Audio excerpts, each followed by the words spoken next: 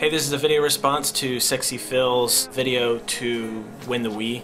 Uh, to showcase your talent. Personally, I think you should get a pool table because, you know, if you get foosball table or whatever, or hockey table, you'll, you'll appreciate those, but uh, honestly, I found myself losing interest in, uh, in air hockey because I, I, used to be an avid air hockey fan. Um, but, you know, I, I very, very rarely do that these days, and I'm more of a pool table guy. I say, you know, get a pool table. Josh thinks you should actually get a uh, pinball machine. Pinball machine. You should go for that pinball machine. Why?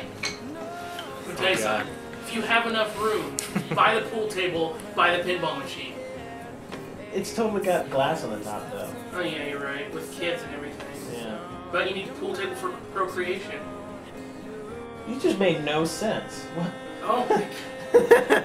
I do that all the time. This is also a response to show you my talent. This is my attempt to really try to amaze you you're, you're not going to regret it, you know, five years down the line. I'm, I'm not going to lie, I, I am in, into making the video for the, uh, for the Wii. I've never had a Wii, I've never owned a Wii, so I would really, really like a Wii. So to recap, pool table, watch my video. I'll talk to you later.